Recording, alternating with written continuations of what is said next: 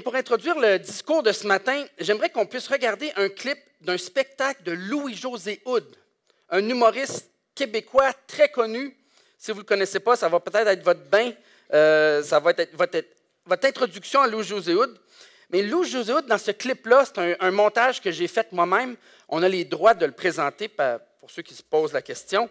Il parle vraiment avec franchise de son expérience avec l'avortement, puis les conséquences qui ont suivi cette expérience-là qu'il a vécue par rapport à l'avortement. Puis j'aimerais qu'on puisse juste écouter ce, clip-là, ces trois minutes, puis ensuite de ça, on va, euh, comme guise d'introduction à notre discours de ce matin, puis on va en, parler tout de suite après. Non, parce que euh, je pense qu'il arrive des situations, à un moment donné, dans la vie où il y a quasiment juste ta mère qui peut te consoler. Parce que la vie amène plein de choses qu'on prévoit pas. Je disais tantôt que tout ce que j'achète, ça pète. Un condom, là. Pète quoi, c'est une fois sur mille? Est-ce que tu penses à tomber?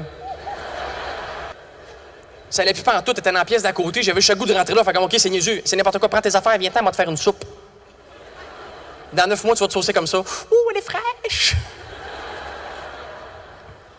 Sauf que je suis resté assis là, je sais pas trop encore pourquoi. Je me suis mis à penser à ma vie, puis aux choix que j'ai fait dans la vie, puis au parcours que j'ai eu, puis je me disais, Colin, que ça, c'était pas dans le plan. C'était tellement pas supposé arriver. Je m'étais tellement jamais imaginé là. Et puis, j'ai même pas eu le temps de finir de penser qu'elle est revenue. C'était terminé. Puis, elle s'est couchée. Puis, j'ai pris sa main. Avec l'autre main, j'ai tellement déchiré le reçu. Puis je l'ai regardé dans les yeux, là. Je me suis dit, plus jamais. Évidemment, c'est sûr, je suis pas, vraiment pas le premier qui vit quelque chose comme ça. Sauf que moi, c'est pas fini.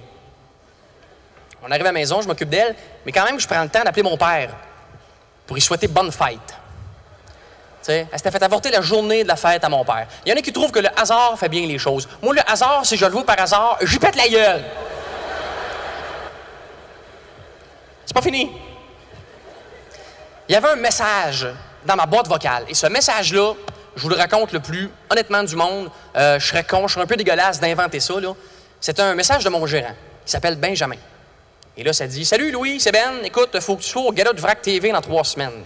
VRAC TV, c'est le poste pour les ados. Ils ont un gala belle fun, un anti-gala, où ils remettent plein de prix comiques à plein d'artistes. Et là, il me dit Bravo mon vieux, tu viens de gagner l'artiste que vous aimeriez avoir comme père. la journée de l'avortement. Ça, c'est pas arrivé à personne. Il n'y a personne que sa blonde s'est fait avorter de de la fête à son père, qui arrive chez eux, qui se fait dire Les jeunes de ton pays aimeraient t'avoir comme père. Ça se peut pas, la vie ne peut pas te cross-checker dans la face de même. C'est pas fini. Et ça a été une dure épreuve dont on s'est pas. Un moment donné, elle est partie. Et là, ça a fait non. Là, ça a fait non. Là, je me suis retrouvé dans une zone où je n'étais jamais allé avant. Parce que les, les, les bad luck, au début, c'est correct quand tu regardes ça monter, c'est comique. Bon, tout ce que j'achète, ça pète. OK. Je lâche l'école. Ouais, OK. Me bois de pocket dans la rue. OK. Brûle les aisselles de genoux en Guadeloupe. OK. Mon père m'a traumatisé avec une tente roulotte. Eh, OK. À mes parents se séparent. Ça fait comme, OK. Ma blonde se fait avorter. OK. Là, ma blonde s'en va. Non. Mané, ça, ça fait non. Mané, je peux pas, là. Je peux pas suivre. Je peux pas suivre la parade. Suis comme ça sur le bord la route, là, puis je comprends pas.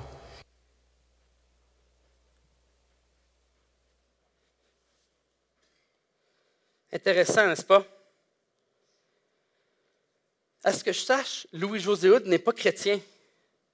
Mais même s'il ne croit pas que Dieu existe, on voit qu'il ne peut pas s'empêcher d'attribuer à la vie, entre guillemets, les caractéristiques et les attributs qui reviennent à Dieu. Comme si, au fond de lui, il savait que le hasard n'est pas une réalité satisfaisante. Même qu'il mentionne le hasard, si je le rencontre par hasard, j'y pète la gueule. En effet, il parle de la vie, entre guillemets, comme si la vie l'a cross-checké. Une expression qui vient du hockey, pour ceux qui ne savent pas trop. C'est quand un joueur de hockey prend son bâton comme ça, puis frappe un autre joueur, souvent dans le dos. Puis l'autre joueur, ça lui fait très mal. Il prend son bâton, puis il le met horizontalement. C'est ça, horizontal, vertical? Horizontal puis il frappe dans le dos. Louis José dit La vie m'a cross-checké d'en face, comme si la vie avait des intentions pour lui, des projets, des plans, puis il refuse d'accepter que tous ses malheurs et tous ses problèmes sont finalement ce que la vie a vraiment en réserve pour lui. Parce que si c'est ça, le sens de la vie serait totalement absurde. Il y avait des attentes par rapport à la vie. Puis ces attentes ont été déçues. Il termine sa description de sa série de bad luck ou de malheur ou d'épreuves en déclarant Je suis comme ça sur le bord de la route, puis je ne comprends pas. Mais qu'en est-il de nous, les chrétiens? Est-ce qu'on n'est pas, nous aussi, très souvent au même endroit que Louis-José remplis d'incompréhension et d'attentes déçues? On se dit peut-être, Louis-José c'est normal euh, qu'il vive plein de détours dans sa vie parce qu'il n'est pas chrétien. On a cette pensée-là des fois. Mais nous, c'est différent. Hein? On est enfant de Dieu, on est bien-aimé de Dieu. Ces détours-là ne vont pas nous arriver. Dieu ne laissera jamais arriver des choses mauvaises comme ça, arriver à ses enfants. On se dit ça jusqu'au jour où un membre de notre famille décède subitement ou après une lutte contre la maladie. Un père, une mère, un frère ou un enfant, puis là, on ne comprend plus rien. On se dit ça jusqu'au jour où notre couple se brise et notre famille est divisée. Et là, on est rempli de tristesse et de questionnement. On se dit ça jusqu'au jour où l'on perd notre emploi injustement parce qu'on a cherché à faire le bien, à être honnête et dire la vérité. Puis là, on a toutes sortes de questions pour Dieu. Puis on a le sentiment que Dieu nous a abandonnés. On se demande pourquoi Dieu me laisse sombrer dans des détours comme ça. Et comment Dieu peut-il dire qu'il m'aime s'il me laisse pris dans un détour? On a littéralement de la difficulté, moi le premier, à faire confiance à Dieu dans les détours et continuer à croire que Dieu est bon, bienveillant, qu'il veut notre bien malgré tout ce qui nous arrive.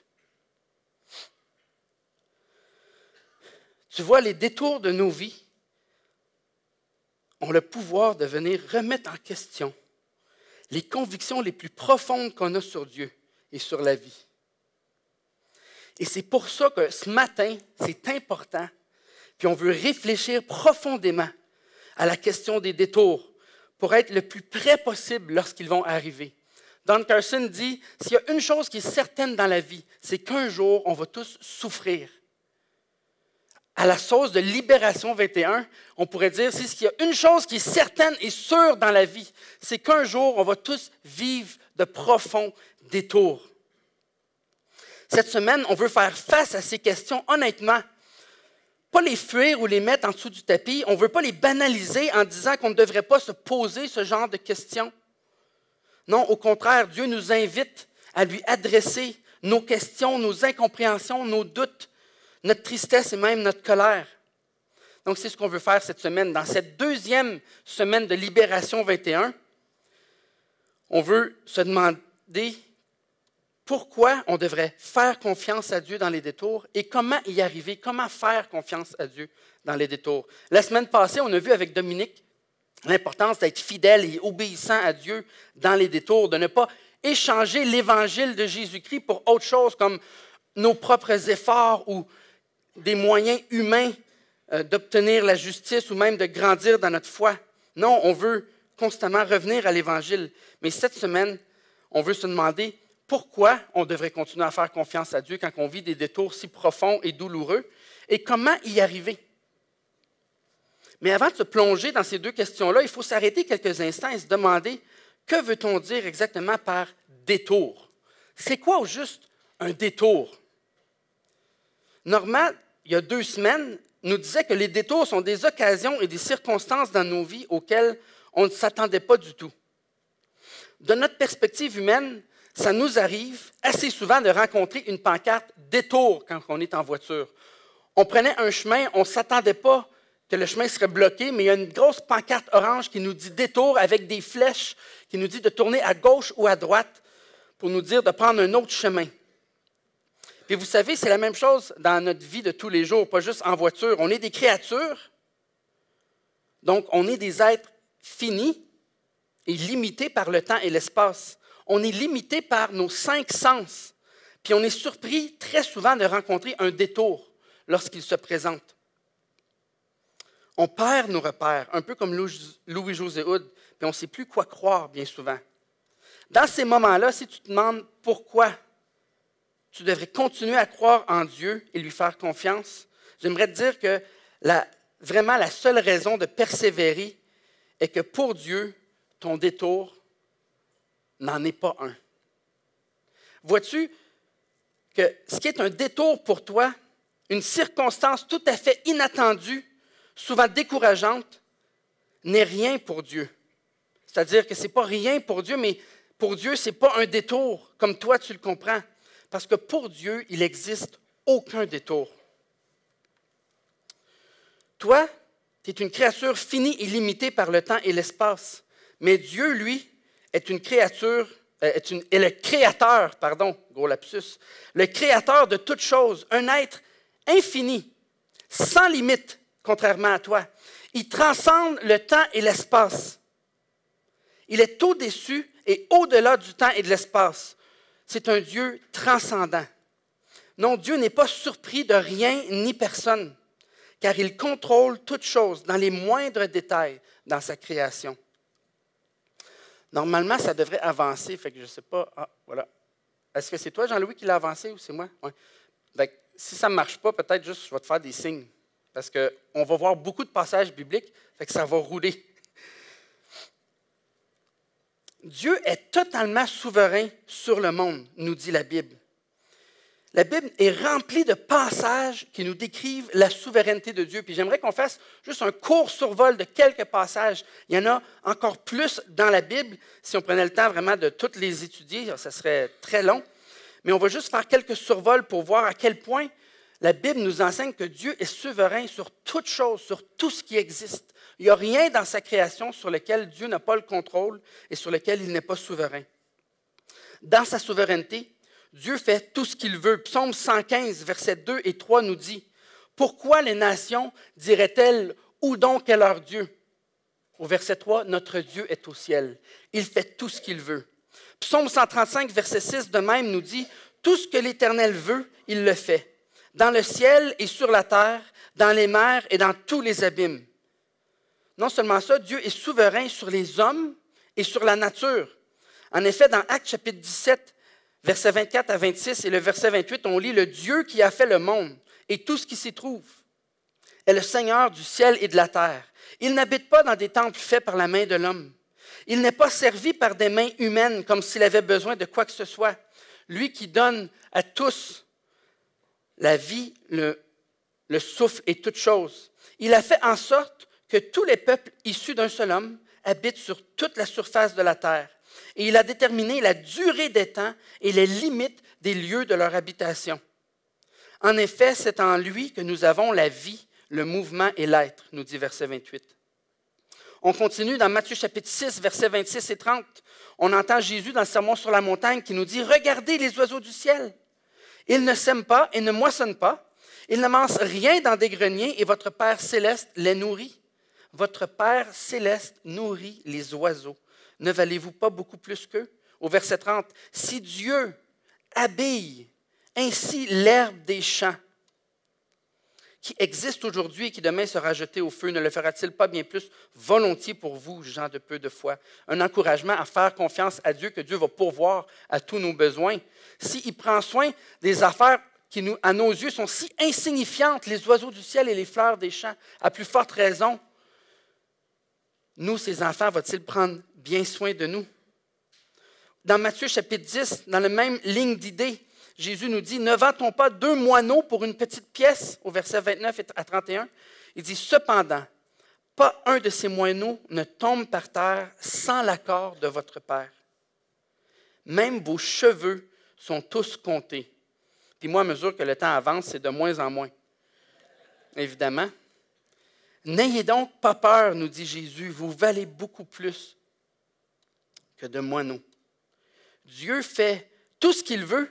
Il est souverain sur les hommes et la nature, mais Dieu est aussi souverain. La Bible, va jusqu'à dire qu'il est souverain sur la volonté humaine et le cœur des hommes. Dans Proverbe 16, verset 9, on lit, Le cœur de l'homme peut méditer sa voix, mais c'est l'Éternel qui dirige ses pas dans Jérémie 10, 23, Je sais, Éternel, que l'être humain n'a pas autorité sur la voie qu'il suit. Ce n'est pas à l'homme qui marche de diriger ses pas. Dieu vient souverainement donner le bonheur et le malheur, la lumière et les ténèbres même. Le bien et le mal, dans sa souveraineté, c'est lui qui les apporte comme il le désire. C'est Job qui a dit, est-ce que je recevrai juste les bonnes choses de Dieu et pas aussi les mauvaises choses? Le Seigneur a donné, le Seigneur a repris. Béni soit le nom du Seigneur. On l'a chanté ce matin. Dans Ésaïe 45, verset 5 à 7, on lit Dieu on voit que Dieu dit au roi Cyrus, le roi Cyrus, auquel le prophète s'adresse, Dieu dit, c'est moi qui suis l'Éternel, il n'y en a pas d'autre. À part moi, il n'y a pas de Dieu. Je t'ai équipé pour le combat alors que tu ne me connaissais pas. C'est afin que l'on sache à l'est comme à l'ouest qu'en dehors de moi, il n'y a que néant. C'est moi qui suis l'Éternel et il n'y en a pas d'autre. Le verset continue. Je forme la lumière et je crée les ténèbres. Je donne la paix et je crée le malheur. C'est moi l'Éternel qui suis l'auteur de tout cela. Tu vois, dans la souveraineté de Dieu, la paix et le malheur, tous deux viennent de Dieu. Dans Lamentation, les lamentations de Jérémie au chapitre 3, verset 37, on lit Qui n'a qu'à parler pour qu'une chose se produise si le Seigneur ne l'a pas ordonné? N'est-ce pas de la bouche du Très-Haut que sortent les malheurs et le bonheur nous, les chrétiens, on a tendance à penser que Dieu va nous donner juste des bonnes choses, puis que les malheurs, ça nous vient peut-être de l'ennemi de Dieu, de Satan, d'un monde pécheur qui est contre nous. Mais plusieurs textes dans l'Ancien Testament et dans le Nouveau Testament nous disent que dans la souveraineté de Dieu, dans son plan souverain, et le malheur et le bonheur, ultimement, viennent de lui. Si ce n'était pas Dieu qui décrète qu'ils arrivent dans nos vies, ces choses n'arriveraient pas dans nos vies. Même Dieu, on voit qu'il endurcit le cœur de qui il veut. Dans Romains chapitre 9, verset 18, on lit Ainsi Dieu fait grâce à qui il veut et il endurcit il veut. On a l'exemple de ça dans le livre d'Exode chapitre 7, dans l'Ancien Testament, où on voit que Dieu va endurcir le cœur de Pharaon. Au verset 3, on lit De mon côté, j'endurcirai le cœur de Pharaon et je multiplierai mes signes et mes miracles en Égypte. Mais au verset 13 et 14, on voit que c'est le cœur du Pharaon qui s'est endurci. Dieu dit, euh, Moïse écrit, le cœur du Pharaon s'endurcit et il n'écouta pas Moïse et Pharaon. Cela se passa comme l'Éternel l'avait dit. L'Éternel dit à Moïse, le Pharaon a le cœur insensible. Il refuse de laisser partir le peuple. Très intéressant ici parce qu'on voit qu'en même temps que Dieu choisit d'endurcir le cœur de Pharaon, Dieu ne le fait pas contre la volonté de Pharaon, parce que Pharaon lui-même décidait de refuser de laisser partir le peuple et d'endurcir son propre cœur. Donc, la souveraineté de Dieu implique qu'il fait tout ce qu'il veut avec les hommes et la nature. Il fait tout ce qu'il veut avec la volonté humaine et le cœur humain. Et c'est même de Dieu que peut venir le bonheur et le malheur, le bien et le mal. Il endurcit qui il veut. Vous savez, si Dieu était seulement souverain et transcendant, sans plus, comme on l'a dit. Cela pourrait nous donner raison de détester Dieu, peut-être. Car on pourrait voir Dieu comme un Dieu méchant, froid et distant, qui contrôle de loin ses petites créatures comme il veut, sans égard ou sans souci pour elles, puis en violant même leur volonté propre.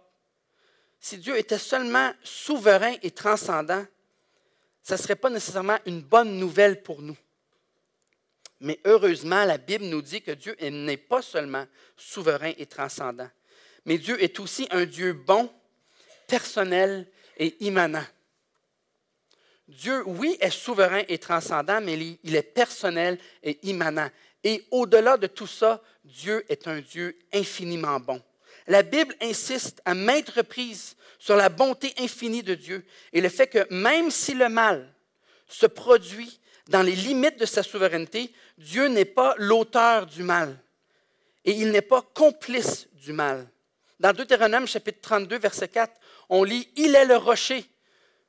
Ce qu'il accomplit est parfait, car toutes ses voies sont justes. C'est un Dieu fidèle et dépourvu d'injustice. Il est juste et droit.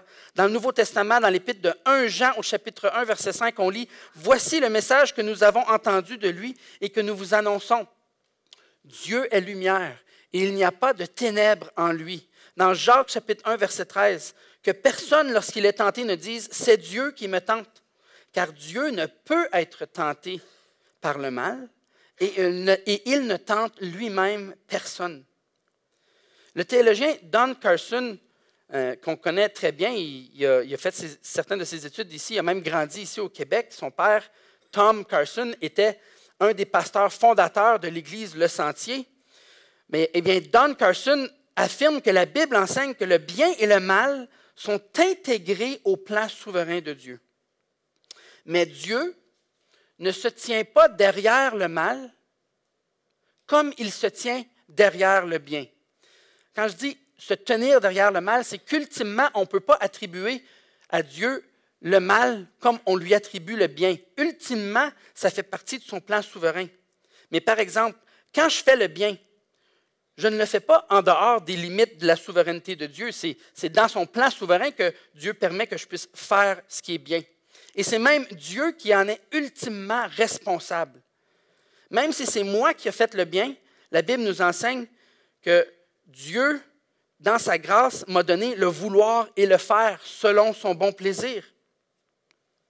Par contre, si je pêche puis je fais le mal, je ne pêche pas non plus en dehors des limites de la souveraineté de Dieu. Ce n'est pas comme si Dieu a été pris de court, puis oh non, je n'avais pas prévu qu'il était pour pécher, puis j'aurais tellement voulu qu'il pêche pas, mais je n'ai pas pu rien faire, il a péché, puis il a fait le mal. Non. Mon péché et le mal que je commets se fait dans les limites et le plan souverain de Dieu. Par contre, Dieu n'en est pas responsable du tout, nous dit la Bible.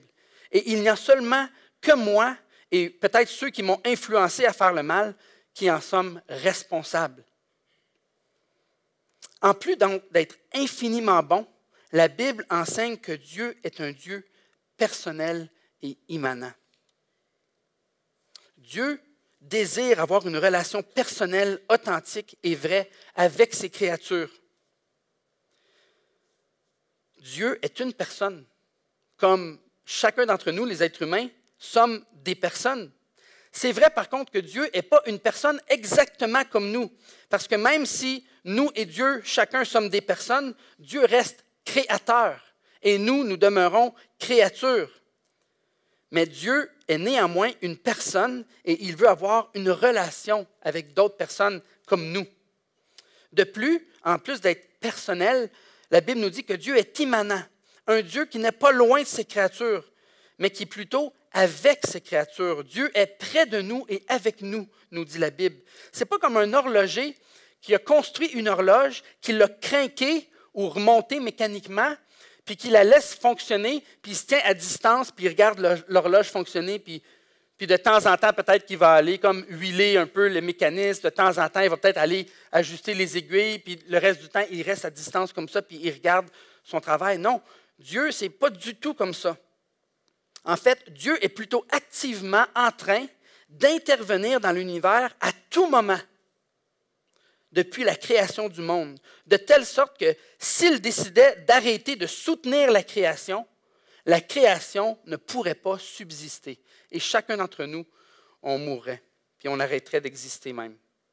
Dans Hébreu chapitre 1, verset 3, on lit Le Fils est le reflet de sa gloire et l'expression de sa personne, de la personne de Dieu. Il soutient tout par sa parole puissante.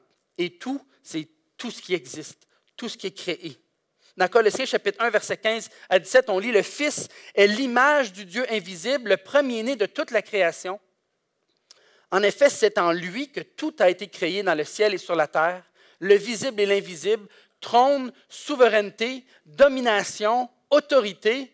J'espère que vous comprenez le message. Il n'y a rien qui n'est pas sous l'autorité de Jésus, puis qui n'a pas été créé pour lui, par lui et pour lui.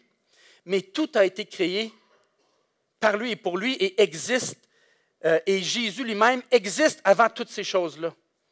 Et le verset termine en nous disant, et tout subsiste en lui. Donc Dieu est bon, Dieu est personnel, Dieu est immanent. Il est près de sa création, dans sa création, il est avec nous. Et puisque Dieu est en relation personnelle avec sa créature, qui sont les êtres humains, il donne à ses créatures des lois des commandements pour le bon fonctionnement de la création, puis pour notre plus grande joie.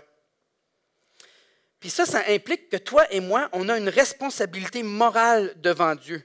On est donc responsable de nos choix. Tantôt, quand on a parlé de, Pharaon, on a donné l'exemple de Pharaon.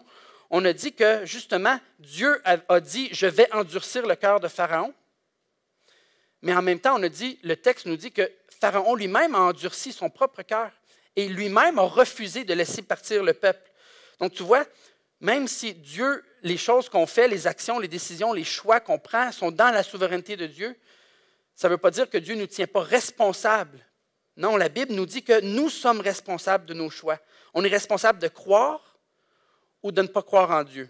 On est responsable d'obéir ou de désobéir. On est responsable de soit se rebeller ou se soumettre à Dieu. Et on va devoir rendre compte, la Bible nous dit, à Dieu pour toutes nos décisions et nos choix. Et on voit ça dans plusieurs textes. Le texte d'Exode chapitre 7 qu'on a vu tantôt, c'en est seulement qu'un. Mais par exemple, si on va dans Josué chapitre 24, un autre des textes dans la Bible euh, où Dieu nous invite à faire des choix, puis où on voit que nos choix sont significatifs, même s'ils sont faits dans la souveraineté et le plan, souverain de Dieu, nos choix vraiment sont significatifs et ont de la valeur, font une différence. Dans Josué chapitre 24, on, on lit Maintenant craignez l'Éternel et servez-le avec intégrité et fidélité. Faites disparaître les dieux que vos ancêtres servaient de l'autre côté de l'Euphrate et en Égypte, et servez l'Éternel. Le texte continue, mais si vous ne trouvez pas bon de servir l'Éternel, choisissez aujourd'hui qui vous voulez servir. Choisissez. Ce n'est pas juste comme vous allez choisir, mais dans le fond, c'est moi qui vais choisir pour vous. Non, c'est significatif. Josué dit, choisissez soit les dieux que vos ancêtres servaient de l'autre côté de l'Euphrate, soit les dieux des Amoréens dans le pays desquels vous habitez, Quant à ma famille et moi, nous servirons l'Éternel. Même dans le Nouveau Testament, dans Jean chapitre 3, versets 16 à 18, on voit cet appel à l'Évangile, puis cet appel à croire à Jésus. Ça nous dit au verset 16, en effet, Dieu a tant aimé le monde qu'il a donné son Fils unique afin que quiconque croit en lui, que quiconque croit en lui, ne périsse point, mais ait la vie éternelle. Dieu, en effet, n'a pas envoyé son Fils dans le monde pour juger le monde, mais pour que le monde soit sauvé par lui.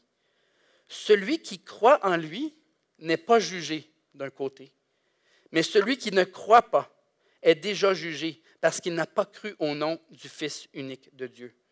On est donc responsable de croire ou de ne pas croire. Dieu met même le cœur des hommes à l'épreuve. Il va tester nos cœurs pour savoir ce qu'il y a dans notre cœur. Puis on y voit que Dieu nous donne donc la responsabilité d'obéir. Dieu ne nous, nous force pas, mais il veut même, dans certains passages, on voit qu'il est en train de tester puis mettre nos cœurs à l'épreuve pour voir qu'est-ce qu'on va faire. Pourtant, est-ce que les choses qu'on fait puis qu'on dit, ce n'est pas déjà dans son plan souverain? Oui, mais en Exode chapitre 16, verset 4, on lit L'Éternel dit à Moïse Je vais faire pleuvoir du pain pour vous depuis le ciel. Le peuple sortira et en ramassera chaque jour la quantité nécessaire. Ainsi, je le mettrai à l'épreuve et je verrai s'il suivra ou non ma loi. Dieu va même supplier les hommes, sans les forcer, de se détourner de leurs péchés pour ne pas qu'ils finissent par mourir à cause de leurs péchés. Il ne nous force pas, il nous tient plutôt responsables de notre décision. Dans Ézéchiel chapitre 33, verset 11, on lit Dis-leur, aussi vrai que je suis vivant, déclare le Seigneur l'Éternel, je ne prends pas plaisir à voir le méchant mourir, mais plutôt à le voir changer de conduite et vivre. Renoncez Renoncez à votre mauvaise conduite. Pourquoi devriez-vous mourir, communauté d'Israël? On peut presque sentir les larmes dans les yeux de Dieu, presque, imaginer à quel point Dieu a le cœur brisé de voir son peuple refuser de revenir à lui et de renoncer à leur mauvaise conduite.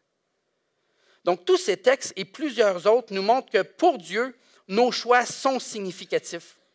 Ils font une différence.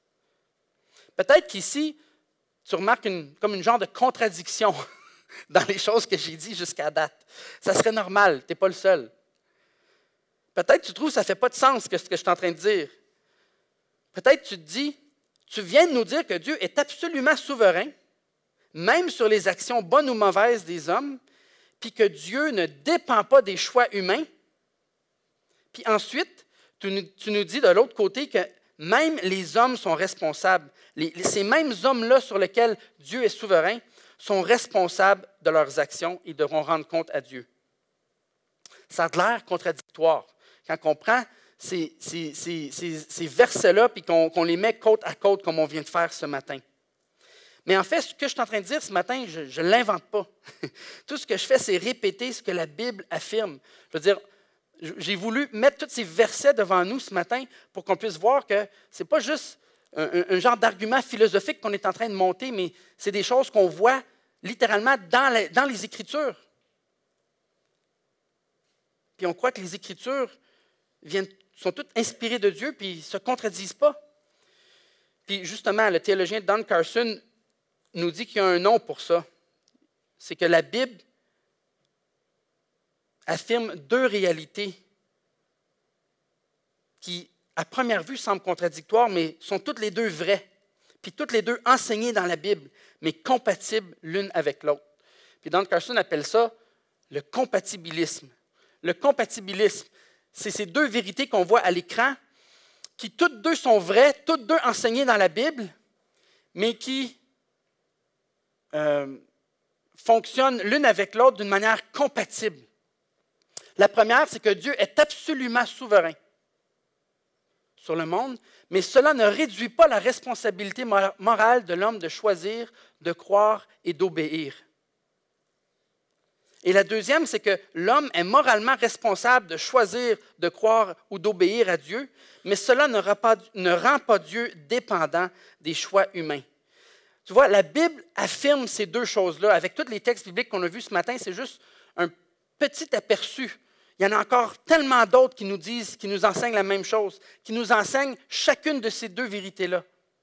Ces deux choses-là, la Bible nous dit, sont vraies et sont compatibles. Dieu est souverain, mais ça ne réduit pas notre responsabilité. Alors que nous sommes responsables, les êtres humains, mais ça, ça ne rend pas Dieu dépendant de nos choix. Comment ça peut fonctionner ensemble? La Bible ne le dit pas. La Bible dit juste que les deux sont vrais, puis que les deux fonctionnent ensemble, puis sont compatibles. Mais honnêtement, la Bible n'explique pas, ne donne pas de longues explications sur comment ça peut marcher puis fonctionner ensemble. Pour nous, les êtres humains, il demeure un mystère à savoir exactement comment ça peut fonctionner ensemble. Mais pour Dieu, il n'y a aucun mystère, parce que le mystère est résolu dans la personne même de Dieu. Parce que la nature de Dieu est d'être à la fois souverain et personnel en même temps. La nature de Dieu, c'est d'être à la fois transcendant et immanent en même temps. Et c'est cela qui peut nous aider à, à savoir non seulement pourquoi on devrait continuer à faire confiance à Dieu dans les détours, mais aussi comment on devrait faire confiance à Dieu dans les détours, comment y arriver? Vois-tu, même s'il n'existe aucun détour pour Dieu, parce que Dieu est souverain et transcendant, Dieu choisit de nous accompagner dans nos détours, parce qu'il est aussi personnel et immanent. Puis à chaque fois qu'on met l'emphase sur l'une de ces deux choses-là, soit sa souveraineté au dépens du fait qu'il est personnel, on, commence à faire fausse route. Puis à chaque fois qu'on commence à mettre plus l'accent sur le fait que Dieu est personnel et immanent près de nous, et qu'il se soucie de nous, et qu'il semble réagir avec nos choix. Dieu semble être en train de réagir aux, choix qu'on fait, comme s'il n'était pas en train de contrôler les choses. Quand on met trop l'emphase sur ça, au dépend de sa souveraineté, on est aussi en train de faire fausse route parce que la Bible vraiment affirme les deux avec force. Même si les détours ne sont pas, nos détours ne sont pas des détours pour Dieu, Dieu choisit de nous accompagner dans nos détours. Lamentation, chapitre 3, verset 31, nous dit que Dieu ne prend pas plaisir à humilier et à causer du chagrin ou affliger les hommes, mais qu'il fait preuve de compassion tant sa bonté est grande. Et juste un peu plus haut dans le chapitre, on lit que ses bontés et ses compassions se renouvellent à chaque matin. Au verset 22, les bontés d'Éternel ne sont pas épuisées, ses compassions ne prennent pas fin. Elles se renouvellent chaque matin. Que ta fidélité est grande.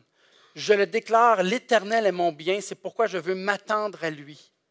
L'Éternel a de la bonté pour celui qui compte sur lui et pour celui qui le recherche.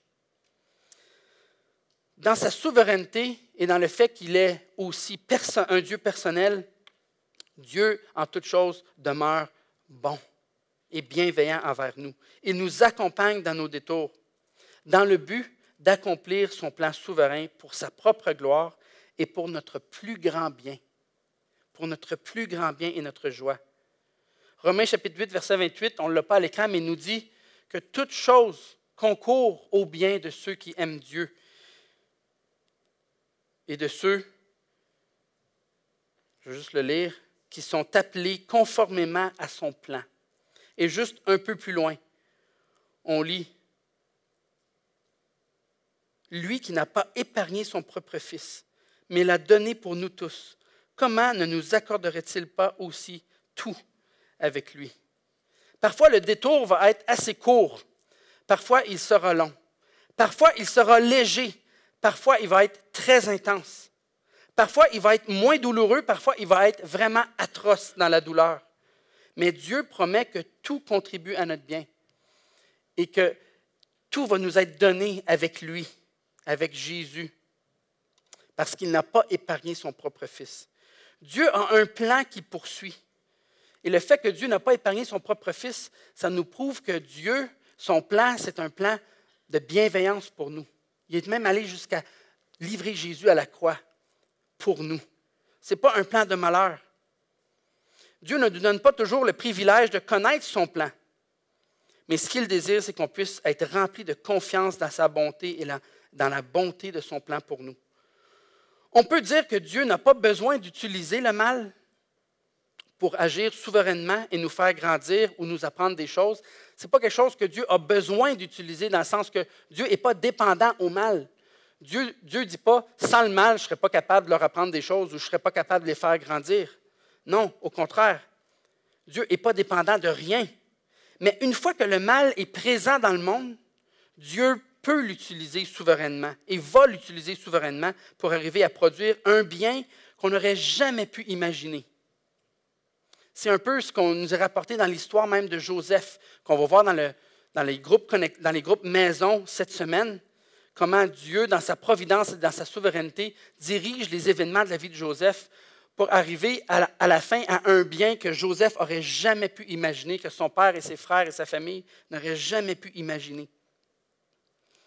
Alors, comment arriver à faire confiance à Dieu dans nos détours? Je pense que la solution est de revenir encore une fois à l'Évangile, puis de considérer l'exemple de Jésus, qui a vécu le plus grand détour qui a jamais existé. Jésus a non seulement vécu le plus grand détour qui a jamais existé, mais Jésus a choisi volontairement d'entrer dans ce détour-là par amour pour nous. Dans Actes chapitre 4, les disciples viennent de se faire arrêter pour le nom de Jésus et ils se mettent à prier. Dans leur prière, ils vont dire, les rois de la terre se sont soulevés et les chefs se sont ligués ensemble contre le Seigneur et contre celui qu'il a désigné par onction. Il est bien vrai qu'Hérode et Ponce Pilate se sont ligués dans cette ville avec les nations et les peuples d'Israël contre ton saint serviteur Jésus, que tu sois consacré par onction. Et au verset 28, on lit, Ils ont accompli tout ce que ta main et ta volonté avaient décidé d'avance. Ça ne peut pas être plus clair que ça. Le plus grand mal jamais commis dans l'histoire du monde a été commis par Hérode, Ponce Pilate, par les nations et les peuples d'Israël, puis ils en sont tenus responsables. Le texte nous dit, c'est vrai, ils se sont ligués contre Jésus pour opérer la mise à mort du Fils de Dieu. La pire chose qui est arrivée dans l'histoire du monde. Mais le verset 28 nous dit que tout ce qu'ils ont fait, c'est d'accomplir ce que la main et la volonté de Dieu avaient décidé d'avance dans sa souveraineté. À partir du plus grand mal qui a jamais existé, Dieu a produit le plus grand bien qui a jamais existé. C'est incroyable l'évangile du salut par grâce, qui nous sauve, nous, des pécheurs rebelles, comme moi et toi, a été accompli et est surgi et ressorti du plus grand mal qui a été commis sur la terre. Et Jésus a volontairement choisi ce détour à la croix, par amour pour moi et pour toi, afin que nous puissions, à notre tour, éviter ce détour-là dans nos vies, celui qu'on méritait tant, de mourir pour nos péchés. Alors, comment faire confiance à Dieu dans les détours? c'est en fixant les regards sur la réalité de l'Évangile. Dieu nous exhorte à courir à travers le détour qui est devant nous. Dans Hébreu 12, 2, on dit, il nous exhorte à courir en gardant les regards sur Jésus qui fait naître la foi et la mène à la perfection.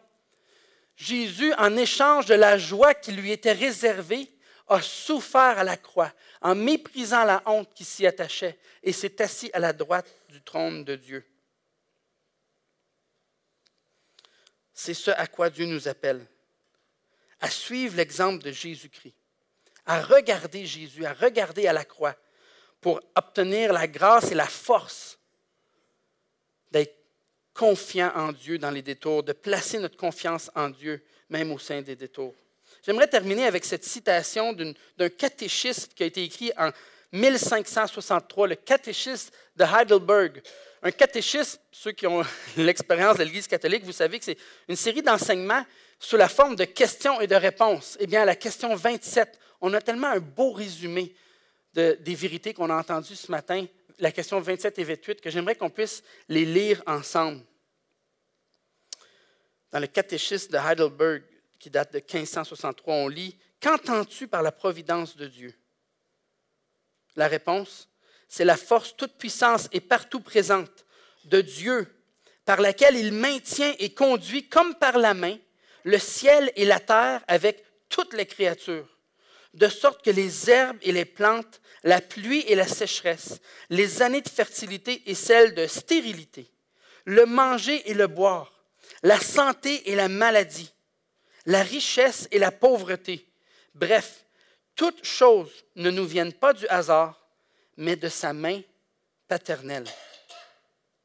Question 28. À quoi nous sert-il de connaître la création et la providence de Dieu?